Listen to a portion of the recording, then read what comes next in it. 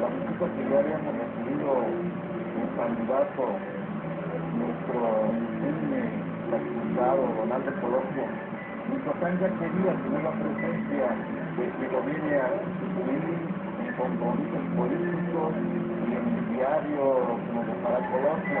Por eso es que creímos que este es un momento muy importante para que nos visite el candidato a la presidencia de la República, porque nos viene a recordar que él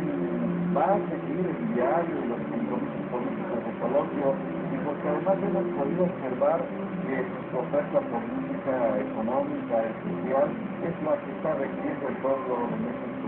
Creí que en Michoacán lo esperábamos con ansia, con un gran interés por escuchar lo que también aquí va a decir eh, sobre los compromisos que aquí en Michoacán va a establecer. Estamos en espera,